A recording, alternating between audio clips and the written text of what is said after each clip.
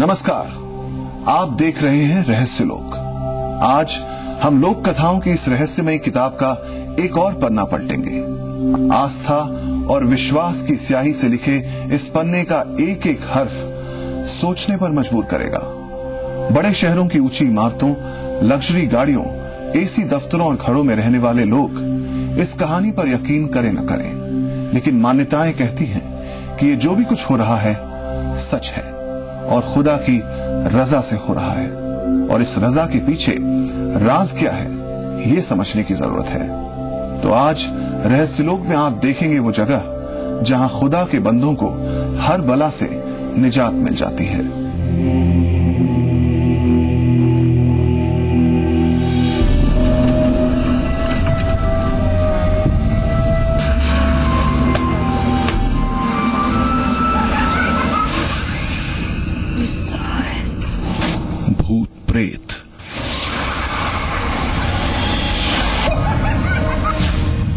पराई आत्माएँ, अनजान रूहें।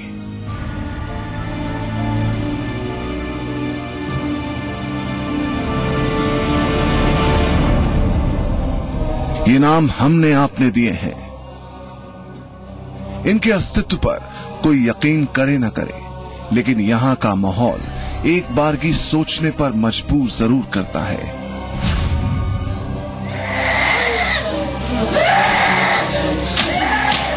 अजीब हरकतें करते लोग। चीखते चिल्लाते। खुद से बातें करते जैसे।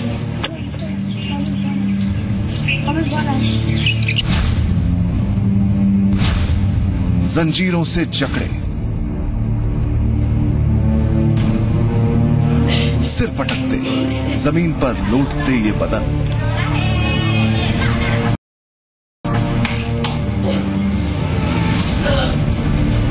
इंसान है या इंसान की शक्ल में कोई और?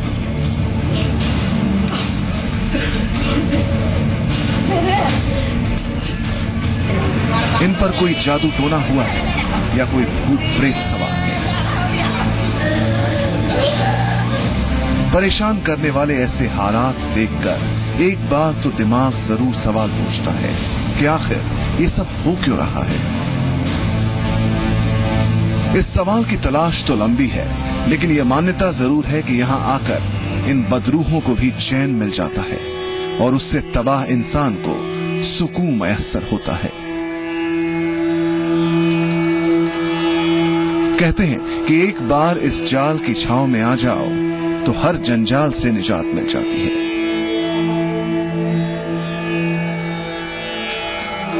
हर इलाज से हारे शख्स को भी यहाँ आकर सेहत नसीब होती है। आखिर कौन सी है ये जगह? छत्तीस कौम की यहाँ सरकार रखते हैं। छत्तीस कौम के लोग आते हैं। ये कौन सा इलाका है? इधर लाएबाद में तो शांति है थोड़ी सी सोने भी देती है। कोई पंद्रह के दिन के अंदर कोई आठ दिन के अंदर ठीक हो जाता है और ऑटोमेटिक उनका रोग खुल जाता है। ये कोई अस्पताल है या कब्रिस्तान? पहनने के लायक भी नहीं थी। पहना पहनाते थे घर वाले तो भी फाड़ देती थी। कहाँ है ये जाल जिससे होकर ज़िंदा इंसान तो क्या आत्माएँ भी अपनी मुरादें पूरी करने का रास्ता पा जाती हैं?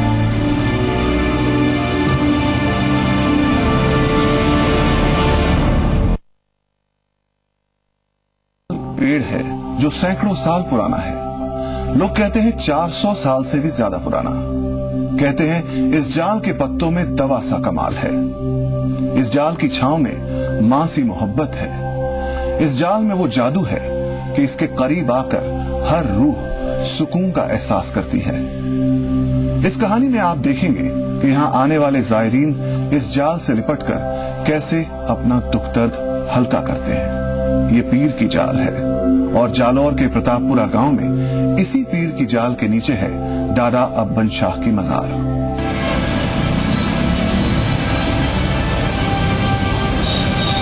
गुजरात सीमा के करीब राजस्थान के जालौर से 210 किलोमीटर दूर और सांचौर से 6 किलोमीटर पर एक गाँव है प्रतापपुरा। शहर की भागती दौड़ती ज़िंदगी से दूर कहीं पीछे छूट चुका एक आम सा गाँव प्रतापपुरा। ये गाँव एक मामले में बेशक अमीर है। यहाँ मौजूद है कौमी एकता की मिसाल ये दरगाह जिसे पीर की चाल दरगाह कहते हैं। पर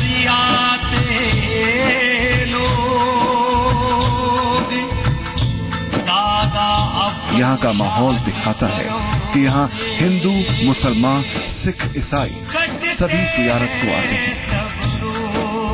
सभी धर्मों की आस्था का केंद्र है। ये सैकड़ों साल सच्चा तेरा दरबार दादा शाह सरकार। सच्चा तेरा दरबार। यहाँ पे अजमेर में सूफी संत की दरगाह उसी तरह यहाँ पर भी दादा बंसा की दरगाह है जो एक सूफी संत थे जिसमें इनके मज़हब किसी भी मज़हब का कोई भी इसमें भेदभाव नहीं है हर मज़हब के लोग यहाँ पे आते हैं। दादा अबन शाह की ये दरगाह करीब 400 साल से भी ज़्यादा पुरानी बताई जाती है। कहा जाता है कि करीब चार, साढ़े चार सौ साल पहले हज़रत मखदूम पीर दादा अबन शाह का जन्म सिंध प्रांत के हाला शहर में हुआ था। पीर दादा अबन शाह सूफी संत थे। कहा जाता है कि एक बार दादा अबन शाह ने प्रतापपुरा के घने जंगलों में आराम फरमाया था। सुबह उठकर उन्होंने जाल के पेड़ की लकड़ी से दातून किया और जाल की लकड़ी को वहीं ज़मीन में गाड़ दिया।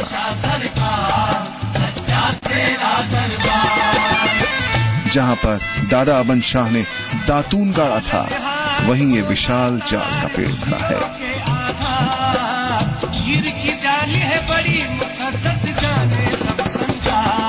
तीन दिन के बाद इनके मुरीदों को यहाँ भेजे देखने के लिए और तो देखा तो जाल की जो मिसवाक लगाया था, उसमें तीन पत्ते हरे निकल चुके थे। कि जाल के पत्ते भी खाते हैं लोगों की बीमारी ठीक हो जाती है।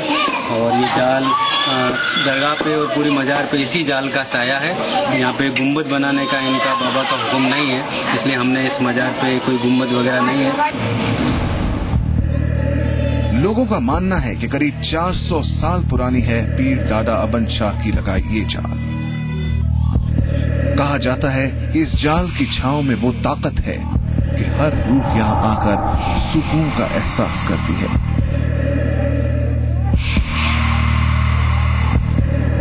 पीर दादा अबन शाह ने उस वक्त अपने साथ आए मुरीदों को वसीयत लिख कर दी थी कि उनकी कहीं भी वफात हो जाए। तो उनकी मजार प्रतापपुरा गाँव में ही बनाई जाए। अपने ही से कहते हैं दफनाना गाँव प्रतापपुरा लगता है वहीं पे दिल मेरा। पीर दादा अमन शाह ने गुजरात के वारा गाँव में अपना शरीर छोड़ा तो वहाँ से मिली उनकी वसीयत के मुताबिक प्रतापपुरा की इस जाल के नीचे ही उनकी मजार बनाई गई। उस दिन से इस जगह का नाम पीर की चाल पड़ा। कहा जाता है कि पीर की जाल के नीचे दादा के परिवार की चार मसारे हैं। गुजरात, राजस्थान, महाराष्ट्र, दिल्ली, हरियाणा, पंजाब, सब जगह से लोग आते हैं और यहाँ दीन दुखी जो लोग आते हैं, उनको सब तरह से फ़ायदा होता है। भूत पलीद वाले भी आते हैं, जिन जनात वाले भी आते हैं, सरकारी कर्मचारी भी कई, उनकी सरकारी कर्मचारियों कई तरह की कठिनाइयाँ होती है। उसमें भी यहाँ आकर के एप्लीकेशन लगाते हैं और दादा से अकीदत रखते हैं, उनकी सबकी मनोकामनाएँ पूरी होती है।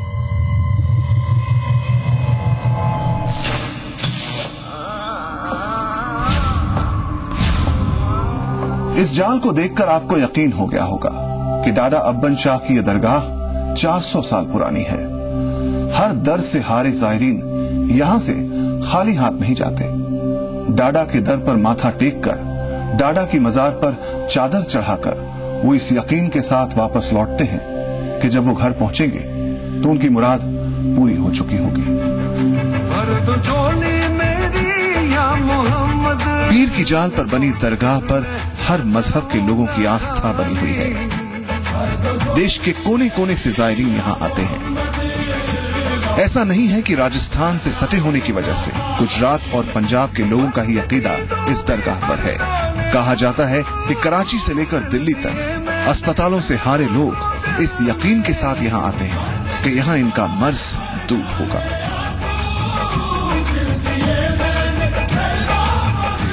हमारे तबीयत में ये शरीर का ऊपर का बाल पूरा नीचे गिर गया था।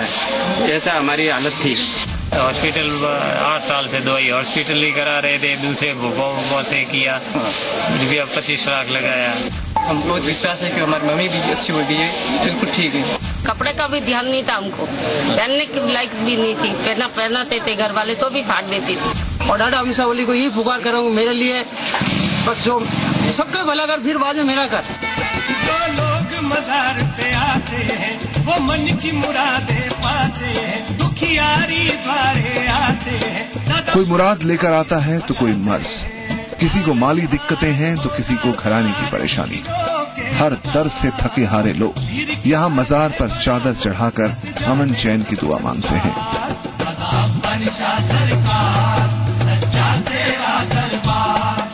इसमें किसी कोई जाति बंधन नहीं है किसी भी प्रकार का कोई भेदभाव नहीं होता है। गुजरात में सब जगह घूम के आए पर कुछ फ़र्क नहीं लगा। यहाँ पे एक अठवाडिया हुआ है भी अच्छी है मम्मी। पुराने आ रहे हैं मैं तो विपसी चाल होगी। अभी ठीक है बिल्कुल। यहाँ आते हैं वापसी को मेरा वापसी को फेरी लगाते हैं अभी बिल्कुल ठीक हो गया। कहते हैं दरगाह पर चढ़ाई जाने वाली ये चादर मुराद पूरी करने की गारंटी है।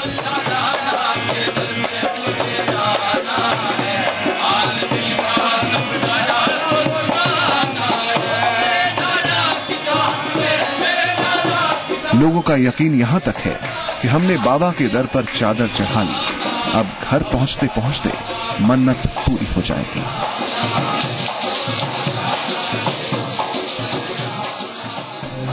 यहाँ दूर दूर से इबादत के लिए लोग आते हैं, लेकिन यहाँ आने वालों में उनकी तादाद ज़्यादा है, जो शारीरिक या मानसिक परेशानी से दो चार है। कोई अपने बच्चों के लिए दुआ मांग रहा है तो कोई अपनी माँ और बहन के लिए।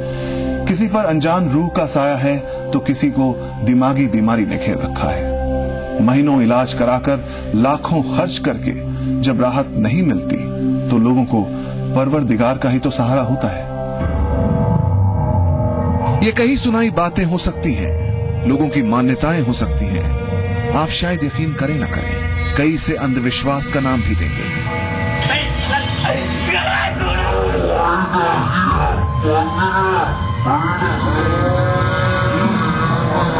लेकिन तस्वीरें देखकर आप ये ज़रूर समझ सकते हैं कि लकड़ी के इस छोटे से घोड़े पर यहाँ आने वाले लोग पूरा भरोसा करते हैं। लोगों का मानना है कि ये घोड़ा चमत्कारी है। दरगाह पर लकड़ी के घोड़े को उस शख्स पर से घुमाया जाता है, जिस पर माना जाता है कि किसी भूत प्रेत का साया है। ऐसी मान्यता है कि घोड़ा घुमाने से उस शख्स पर आई आत्मा अपने आप बोलने लगती है।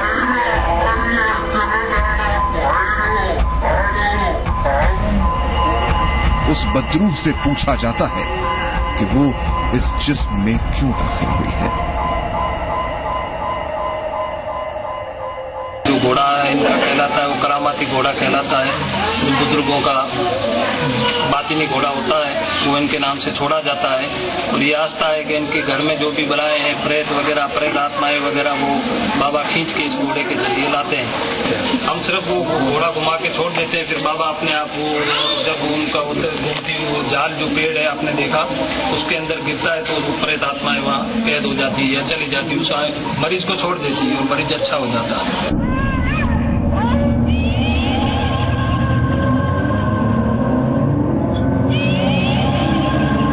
बताया जाता है कि अब तक यहाँ भूत प्रेत से पीड़ित ऐसे लाखों लोगों को चैन मिला है। यही वजह है कि ये दरगाह सभी मज़हब के लोगों के लिए ठिकाना ए यकीदा बन गई है।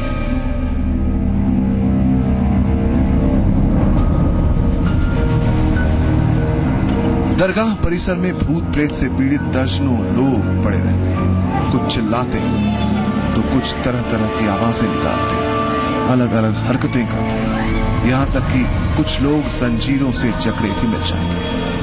हैरानी इस बात की है कि लोग बड़ी श्रद्धा के साथ अपने करीबियों को जंजीरों में जकड़ा छोड़ देते हैं। इस उम्मीद में कि जब ये ठीक हो जाएँगे, ये जंजीरें खुद ब खुद खुल जाएँगी।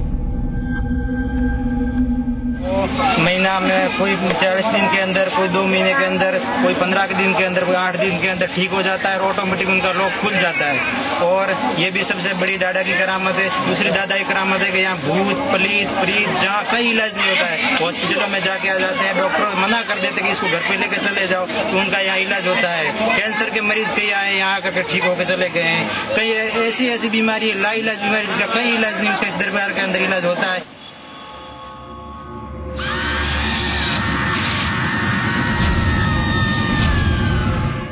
रहस्यलोक में वक्त अभी एक ब्रेक का है। आगे देखेंगे उन लोगों को जो इलाज की खातिर इस दर पर जंजीरों से जकड़ दिए गए हैं।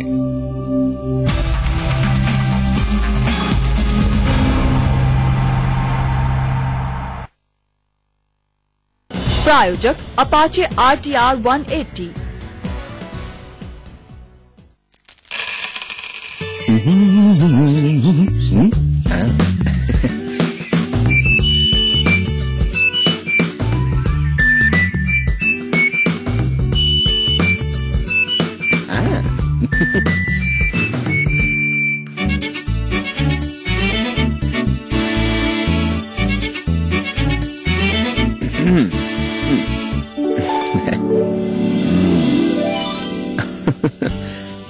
से सागर बनता है दोस्त। इसीलिए छोटी अमाउंट की इन्वेस्टमेंट नियमित रूप से सोचकर समझकर इन्वेस्ट कर। सोचकर समझकर समझ कर। इन्वेस्ट कर एनएससी द्वारा निवेशकों के हित में जारी। किसान भाइयों क्या आप जीरा बोना चाहते हैं? जरा ठहरिए और सोचिए। भारत भर में सबसे ज़्यादा बिकने वाला अवनी सीड्स लिमिटेड अहमदाबाद का रिसर्च जीरा अवनी 111 ही बोइए ताकि बाद में पछताना ना पड़े। Roop Mantra Ayurvedic face cream and face wash इसमें है बारह खास आयुर्वेदिक जड़ी बूटियों का संतुलित मिश्रण। ये कोई कॉस्मेटिक नहीं आयुर्वेदिक औषधि है। आ गए जी आ गए।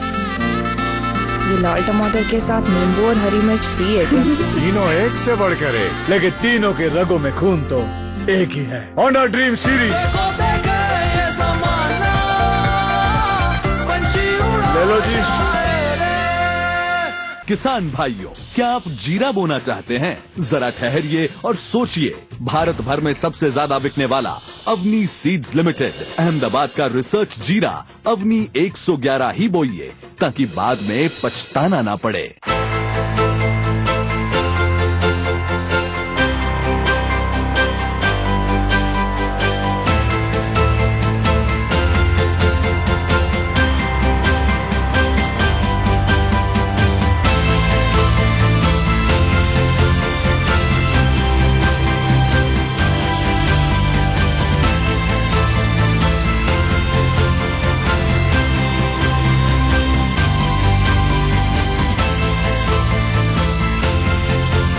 रिसर्जेंट राजस्थान सुखद निवेश खुशहाल प्रदेश इतनी कमाई? आखिर किसके बलबूते पर? मेरे सोनालिका ट्रैक्टर के। और भला किसमें है ये दम? है ताकत की पहचान। देश की सर्वप्रथम हैवी ड्यूटी ट्रैक्टर रेंज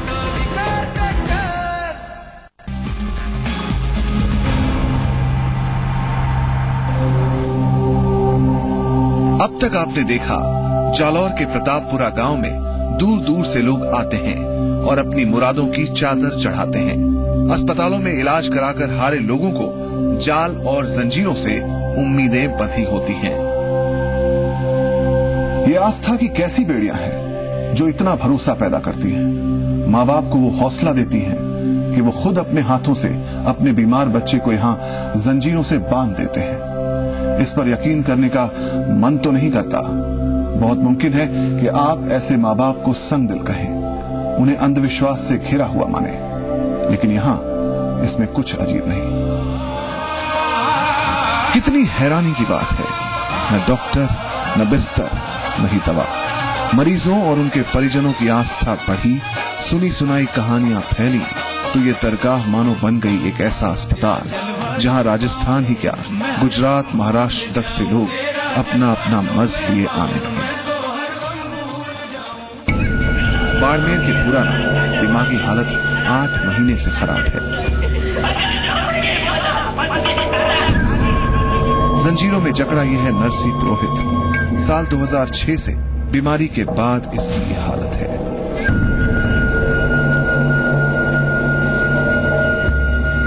अब इस लड़की को देखिए। बाड़मेर की आशा की चार महीने पहले शादी हुई थी। लेकिन अब ये हाल है। चाचा कहते हैं यहाँ आकर आराम मिला। क्या परेशानी है? परेशानी। परेशानी ये कपड़ा उतार देती है सब ये। ऐसा कर दिया। मैं पहले पापा दूसरा करवाता तो पैसा लगती पैसा कहाँ से लाएँगे हम? अब ठीक है। इनका अभी इधर लाए बाद में तो शांति है थोड़ी सी सोने भी देती है। और इनका पापा भी है नहीं सब इनकी माँ भी माँ माँ भी मर गई और पापा भी मर गए मेरा छोटा भाई था। आप इनके चचा है? हाँ मैं इनका काका मैं छोड़ के इनको कहाँ जाऊँ साहब? तो मेरे से जो बनता है वो करता हूँ। हकीकत है कि आस्था के आगे कुछ नहीं। पूरी दुनिया इसे अंधविश्वास का नाम दे। लेकिन यहाँ आने वालों को जंजीरों में भी चमत्कार दिखता है। बड़ा अजीब सा मंजर है। एक ऐसी दरगाह जिसे लोग पागलों का अस्पताल मानते हैं। दिमागी बीमार यहाँ महीनों तक पड़े रहते हैं।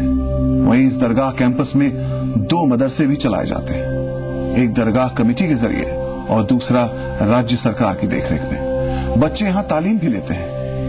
शहरों में रहने वाले कई लोग हैरान हो सकते हैं कि ऐसे माहौल में बच्चों की पढ़ाई कैसे मुमकिन है। लेकिन यहाँ के लोगों को कुछ भी अजीब नहीं लगता।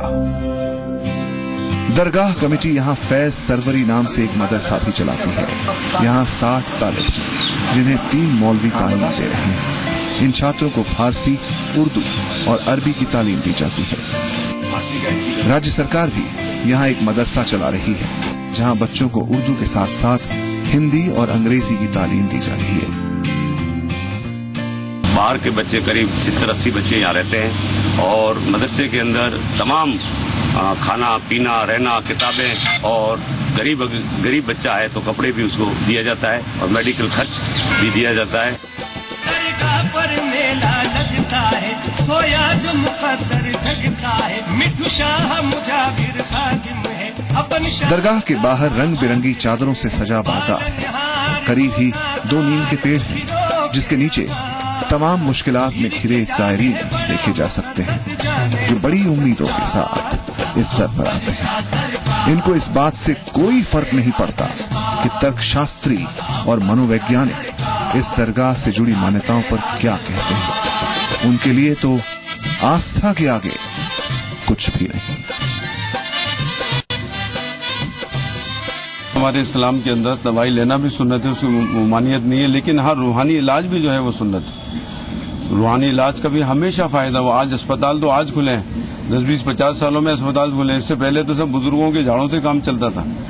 ये तो आज दुनिया थोड़ी सी टेक्निकल उसमें आई है। लेकिन सदियों पहले आप जाइए, जब इन बुज़ुर्गों के तो जाते थे लोग, हर तरह का इलाज इन्हीं के यहाँ होता था। हाँ सभी धर्मों के लोग।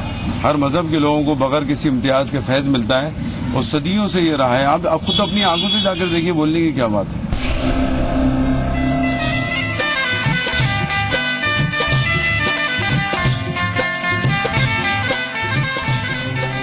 इबादत, आस्था, भरोसा रखिए, ज़रूर रखिए।